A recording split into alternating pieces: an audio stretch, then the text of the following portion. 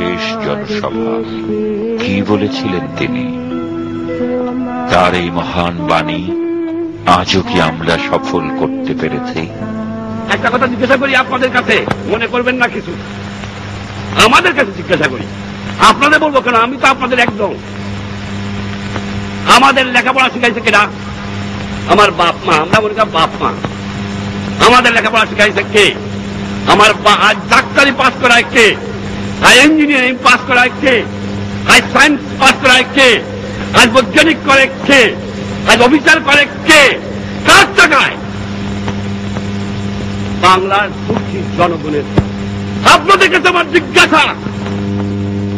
শিক্ষিত ভাইরা আপনার লেখাপড়ার খোঁজ দিয়েছে, শুধু আপনার সংসার দেখার জন্য নয়, আপনার ছেলে মেয়ে দেখার জন্য নয়, দিয়েছে, তাদের আপনি কাজ করবেন, সেবা করবেন।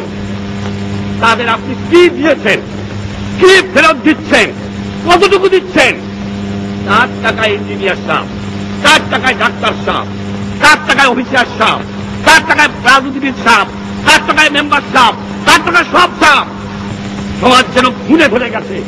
এই সমাজকে আমি চরম আঘাত